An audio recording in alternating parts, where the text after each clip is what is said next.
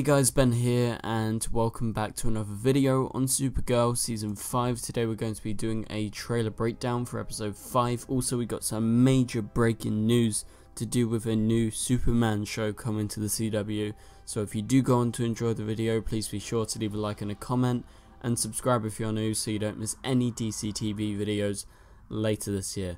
Okay, so we're going to be breaking down the trailer, but the big thing we need to talk about Superman and Lois is coming to the CW. I'm not just talking about the characters, they are having a whole show. So this was just announced today via Deadline, I do believe. So go check out their article that Superman and Lois is going to be a TV show that the CW is currently working on. Obviously, I wasn't suspecting they were going to do a Superman show, but to be honest, I think I would be annoyed if they just did a Superman show but considering it's Superman and Lois, and that it's different from Supergirl, I'm cool with that, and I'm really excited about this because I love Lois Lane in the Arrowverse. I think Elizabeth Tulloch does a fabulous job as Lois. You know, in the brief amount of time we've seen her, I've been really impressed. And also, obviously, I love Tyler Hoechlin as Superman, but my only worry was that if they did a Superman show, would they cancel Supergirl? And no, they're not cancelling Supergirl, which is a great sign that this is going to be different. They're not just going to be copying what Supergirl has done. So this is a spin-off obviously off of Supergirl. It's Supergirl's first spin-off but also you know it's kind of to do with crisis. I guess like whatever happens there is going to impact however this show you know begins. And it seems like this confirms that superman at least this version of superman played by tyler is not going to die in the crossover. And also lois is going to be fine. So will this be set on earth 38 or in crisis is it going to merge with earth 1 and that's you know where they're going to be now. I think it's still going to be earth 38 if i were to hazard a guess. But let's talk about the Superman and Lois show. So obviously we had the show with Dean Cain way back in the day that was Clark and Lois. I guess it's going to be a little bit similar, sort of in the same vein, but I like the title Superman and Lois. I like how it's not just Clark, how it's Superman. I think that's a good title. And obviously, like I said, Tyler and Elizabeth, they're great together. And so this is in development, and this comes from the ex executive producer and showrunner of The Flash, Todd Helbing. So I'm a fan of this. I like that Todd Helbing is coming back. I know a lot of people don't, you know, fully go for Todd Helbing, especially with season 4 of The Flash, which wasn't very good. But I really like season 5. I thought he did a very good job with season 5. So overall, I've been impressed with him and also his brother. He did season 3 as well. They were working on it together. So I don't have a problem with Todd Helbing. I think some people will have a problem with that and they will be more skeptical. But I kind of like Todd Helbing, although I didn't really like season 4 of The Flash.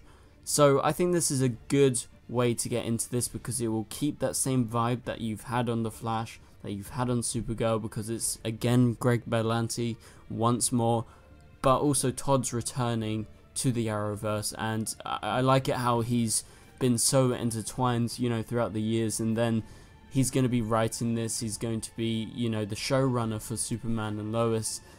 I think it's a great, great opportunity and I just can't wait to see it to be honest. And so apparently Superman and Lois revolves around the world's most famous superhero and comic books most famous journalist as they deal with all the stress, pressures and complexities that come along with being working parents in today's society. So that's a big reveal. They are going to have a kid in this, they're going to be parents. So we're obviously going to deal with some of that, but mainly it's going to be, you know, their lives, you know, and how they, I guess, balance like Superman and Clark Kent, and obviously Lois as well, because Lois is in the title, so it's going to be a massive thing that she is in the title, so she's going to be a lead character, and I like the idea that we have two leads. I don't know, we haven't had that on the CW, like Arrow, it's Oliver, The Flash, it's Barry, Supergirl, it's Kara. Obviously Legends is completely different, it is an ensemble show, but then you got Black Lightning, it's Jefferson. Then you go over to Krypton, it's Seg-El. Then you go over to, say, Titans, it's an ensemble. Doom Patrol, it's an ensemble. Stargirl, the new show, it's Stargirl. Swamp Thing, it's Swamp Thing. So we haven't had a sort of two people led show since maybe Clark and Lois. Like it's been a while and I think that's a really exciting thing personally. So let me know what do you think about all this in the comments down below. So let's go ahead and break down this Supergirl trailer. I'm going to be honest with you guys. This trailer doesn't excite me that much. I feel like the trailer's getting shorter and shorter or they're you know what, I think it's just these episodes because they're sort of waiting for Crisis. I don't know why Supergirl's not involved in Crisis right now, like all the other shows are so Crisis heavy to be honest, like last episode was a very mixed bag episode. I'm kind of being a little bit let down compared to how great Arrow is right now, which I never say because you know Supergirl is one of my favorite shows. But yeah, I don't know about the the way they're taking this season. I think they should have been crisis heavy by now at least. And this trailer is sort of just it feels like another filler episode and I'm using quotations. You can't see me right now but I'm using them because it's not really that important. It's kind of just villain of the week stuff. But that's just me and what I think about this trailer. And the trailer just doesn't excite me as much as some of the past trailers. That's what I would say. So, we get this first shot. Let's break it down. Obviously, I'm excited for the episode. It's just the trailer didn't make me that excited. You know, that happens time to time. And then you get a really good episode. So, no problem about that. But so we got this detainee. I think this might have been the person from last episode. I you could I could be totally wrong. I don't know, but she barely popped up if it was her. The person that blew Kara out the window. She looks like she's got meta cuffs on or like alien cuffs, whatever it is, dampening powers. So it could be her. Kind of looks like her. But she says his code name is Rip Roar.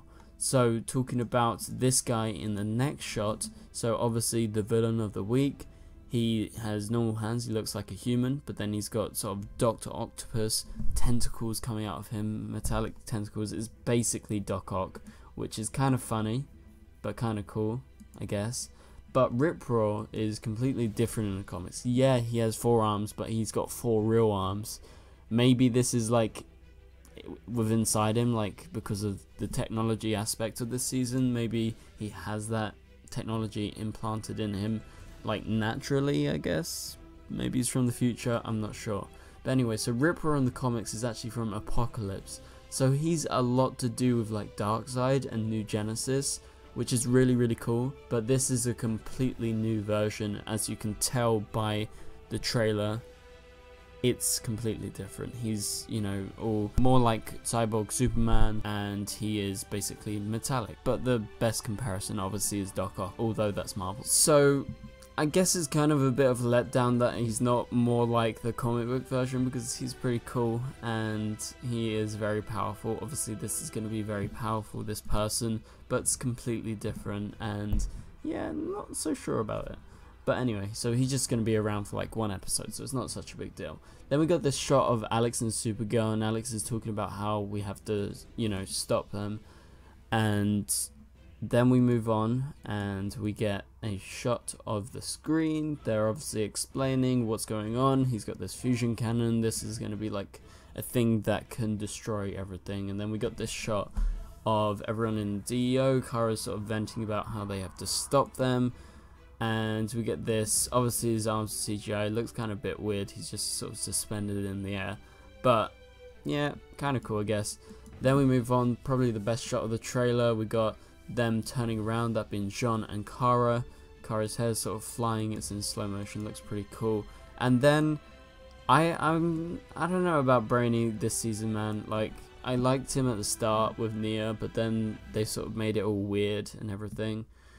And now I feel like a lot of the stuff when he's in the DEO, he's just explaining stuff. Kind of similar to what I'm not liking about Lena right now, in that they are basically plot devices that they're being used to explain stuff and be like, yo, this is happening, and Brainy is talking about the loss of life, could be in the billions. I swear they say that like every few episodes. I don't know. Maybe I'm being too cynical about this, but I'm just a little bit let down by last episode, so maybe my expectations are a bit lower than they should be. Maybe it's going to be a really good episode. I'm sorry that I have to be down, but I have to tell the truth, this trailer doesn't excite me that much. Maybe it excites you, that's great. And we move on to the next shot. So chaos is reigning in National City. You got Alex there. You got this woman on the left. She's got those obsidian contact lenses in. You can tell that.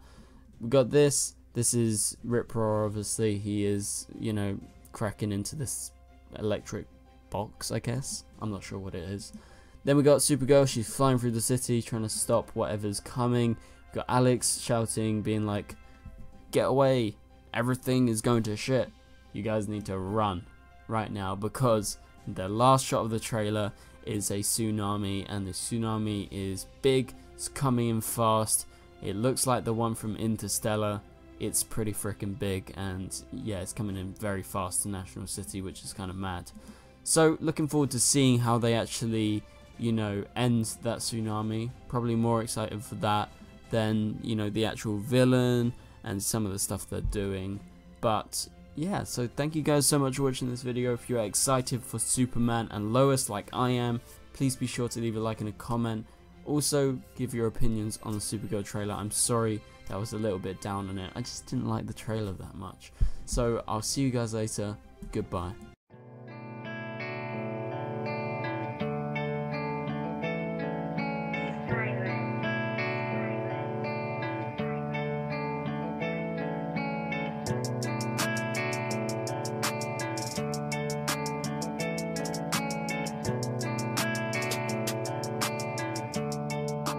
I see rare.